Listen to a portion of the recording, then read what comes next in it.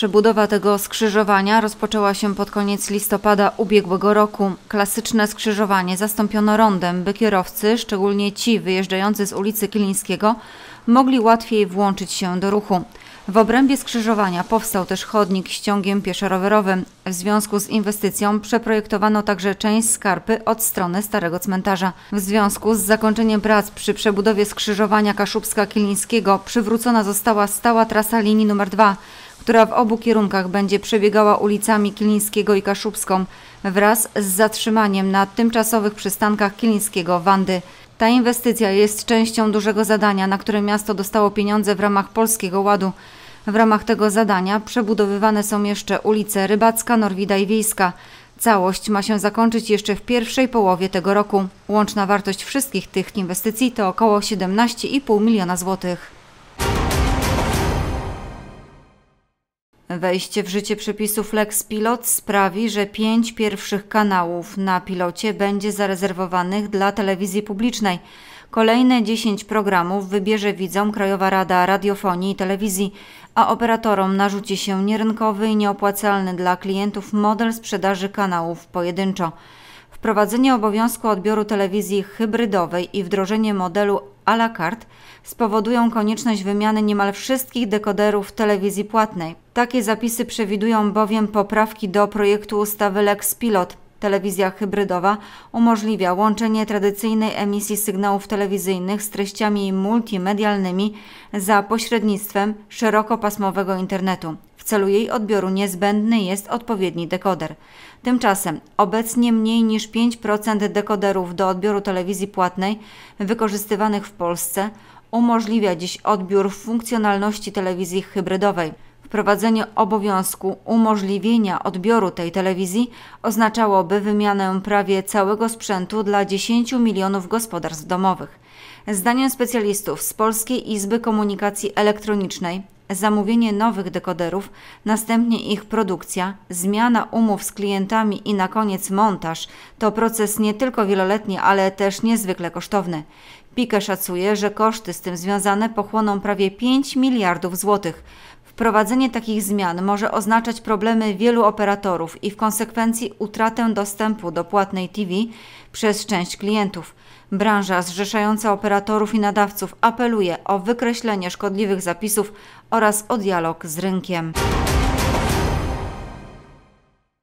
Na ten moment władze jeszcze Akademii Pomorskiej czekały i pracowały całe lata. Faktem staje się, że od 1 czerwca Akademia zacznie być uniwersytetem. W ubiegłym tygodniu, dużo szybciej niż zakładano, Sejm przegłosował zmianę nazwy i statusu słupskiej uczelni. Za głosowało 425 posłów, trzech było przeciw i 12 wstrzymało się od głosu. Cieszę się, że e, zdecydowaliśmy się właśnie na ostatnim posiedzeniu Sejmu do pewnego takiego przyspieszenia, bo e, Rada Ministrów e, dosłownie 3-4 tygodnie temu dyskutowała na temat zmian nas uczelni i Mieliśmy przygotowane projekty ustaw, które, e, które e, będą procedowane w najbliższych e, miesiącach. Natomiast była też zmiana nazw innych uczelni w tym czasie w Sejmie, więc stwierdziliśmy, że ten proces należy przyspieszyć i dzięki temu właśnie na ostatnim posiedzeniu Sejmu po naszych poprawkach kilka uczelni, w tym właśnie Uniwersytet Pomorski, już będę tej nazwy używał, staje się rzeczywistością. Z okazji historycznego momentu władze uczelni zwołały konferencję prasową. Uczestniczyli w niej rektorzy, ale także dyrektorzy instytutów. Na podniesienie akademii do rangi uniwersytetu pracowali bowiem wszyscy naukowcy i studenci. Efektem tego jest przyznanie wysokich kategorii naukowych. Systematycznie realizujemy nasze działania, podnosimy poziom badań naukowych, e, kształcimy na wysokim e, poziomie. Również to wsparcie przyczyniło się do tego, a do tego, że powstały w naszej uczelni liczne pracownie i laboratoria. Systematycznie, Szanowni Państwo, co roku zwiększaliśmy ilość środków na badania naukowe. Tworzyliśmy nowe kierunki. Mm, e, również na terenie naszej uczelni powstała szkoła doktorska. Na decyzję rządu i dalej parlamentu wpływ miał także systematyczny rozwój bazy akademickiej w Słupsku. Jednym z doskonałych przykładów jest powstanie nowej auli przy ulicy Kozietulskiego. Władze uczelni liczą, że zmiana nazwy na Uniwersytet Pomorski przyczyni się do zwiększenia liczby studentów i podniesienia poziomu popularności wśród młodzieży. Zmiany wejdą w życie od 1 czerwca, co oznacza, że studenci, którzy będą kończyć studia po tym terminie i bronić swoje prace dyplomowe, otrzymają dyplomy uniwersyteckie. Funkcjonariusze z Wydziału do Walki z Przestępczością Gospodarczą i Korupcją Słupskiej Komendy każdego dnia analizują materiały publikowane i udostępniane przez użytkowników internetu. Kilka tygodni temu uwagę mundurowych zwróciły filmy zamieszczone na jednym z popularnych portali społecznościowych, na których widać kilku mężczyzn, którzy jeżdżą po ulicach Smołdzina na masce samochodu. Funkcjonariusze zabezpieczyli wstawione do sieci nagrania i przekazali je policjantom z komórki do spraw wykroczeń drogowych. Dokładna analiza materiałów wideo, a także zabezpieczenie kolejnych nagrań, które zarejestrowały kamery okolicznego monitoringu, pozwoliły na ustalenie tożsamości wszystkich uczestników tej niebezpiecznej i nieodpowiedzialnej zabawy. Mężczyźni, którzy pochwalili się w internecie nagraniem, to mieszkańcy gminy Smudzino. Na udostępnionych w sieci filmach widać, jak pasażerowie w wieku od 25 do 48 lat siedzą na masce samochodu oraz w jego bagażniku, a kierowca wozi ich po ulicach Smudzina. 24-letni kierowca usłyszał zarzuty spowodowania zagrożenia w ruchu drogowym, przewożenia pasażerów bez wymaganych pasów bezpieczeństwa, niestosowania się do obowiązku ruchu prawostronnego, a także przewożenia zbyt dużej liczby pasażerów. Do sądu trafił już wniosek o ukaranie 24-letniego kierowcy, któremu policjanci zatrzymali prawo jazdy, a sąd postanowił zatwierdzić tę decyzję. Wszyscy pasażerowie zostali ukarani mandatami za popełnione wykroczenia. Wnioski o przyznanie nagród składały kluby i organizacje sportowe. W tym roku nagrody przyznano 12 trenerom, 5 sportowcom niepełnosprawnym, 21 reprezentantom sportów nieolimpijskich, 48 zawodnikom uprawiającym sporty olimpijskie, jednemu działaczowi i jednej drużynie. Obok nagród przyznanych przez komisję i niezależnie od nich prezydent Słupska zdecydowała przyznać dodatkowe nagrody rzeczowe. Zatem wszyscy nagrodzeni sportowcy otrzymali wejściówki do Parku Wodnego Trzyfale. Natomiast nagrody finansowe przyznane zostały w różnej wysokości od 200 zł dla najmłodszych zawodników do 2400 zł dla najlepszych trenerów. Nagrody w sportach olimpijskich otrzymali przede wszystkim przedstawiciele lekkoatletów, ale również boksu, pływania, judo i badmintona. Nagrody dla sportowców niepełnosprawnych otrzymali przedstawiciele lekkoatletyki, gier zespołowych, strzelectwa laserowego. Wśród sportów nieolimpijskich nagrody przyznano zawodnikom MMA, tańca sportowego, trójboju siłowego, kulturystyki, taekwondo, ratownictwa wodnego. Nagrody otrzymał także zespół 3x3 STK Czarnych Słupsk. Jednym z wyróżnionych nagrodą finansową był znakomity pływak klubu Towarzystwa Pływackiego Skalar Kacper Maksajda, dla którego było to już kolejne z rzędu prezydenckie wyróżnienie, które ubiegłoroczne sukcesy były dla niego najważniejsze z dużą pewnością y, moje trzy rekordy Polski na 50, 100 i 200 klasycznym, a jeżeli chodzi o najbardziej niespodziewany powiedzmy sukces, no to jest właśnie na 50 klasycznym, bo nie specjalizujemy się z trenerem w sprintach. Nagrody prezydenta Słupska przyznawane są od 2011 roku. W tym roku komisja rozpatrująca wnioski zebrała się dwukrotnie na początku lutego. W jej skład weszli radni Mirosława Sagun i Łukasz Jaworski, reprezentanci Rady Organizacji Pozarządowych Jerzy Polak i Romuald Rasiak oraz Rafał Szymański, pełnomocnik prezydent miasta Słupska do spraw sportu i Roma Woźniak z Wydziału Współpracy Kultury i Promocji. Komisja do podziału miała 40 tysięcy złotych. Kandydaci na kierowców od kwietnia zapłacą więcej za egzaminy zarówno teoretyczne, jak i praktyczne.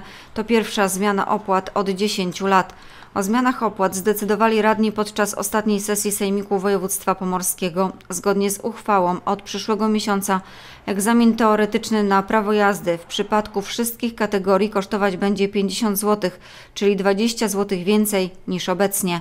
W przypadku egzaminów praktycznych na najpopularniejsze kategorie, m.in. motocykle i samochody osobowe, opłaty wzrosną do 200 zł. Tu w zależności od kategorii podwyżka będzie wynosiła od 30 do 60 zł. W przypadku innych kategorii, m.in. uprawniających do prowadzenia autobusów czy ciężarówek, kandydaci na kierowców zapłacą 250 zł, czyli nawet 50 zł więcej niż obecnie.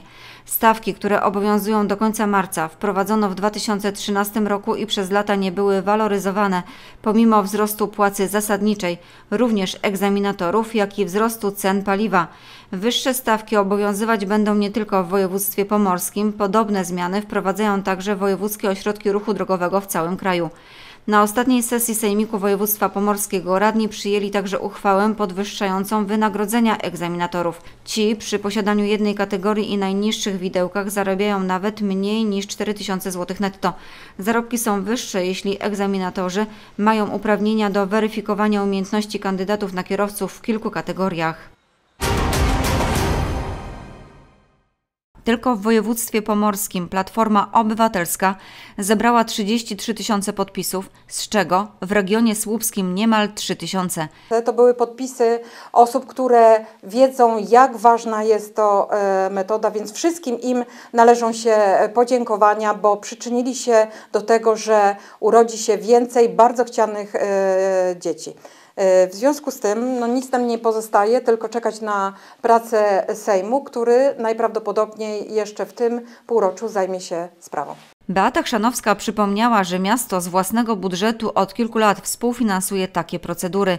Niedawno miejski program in vitro został przedłużony na kolejne pięć lat.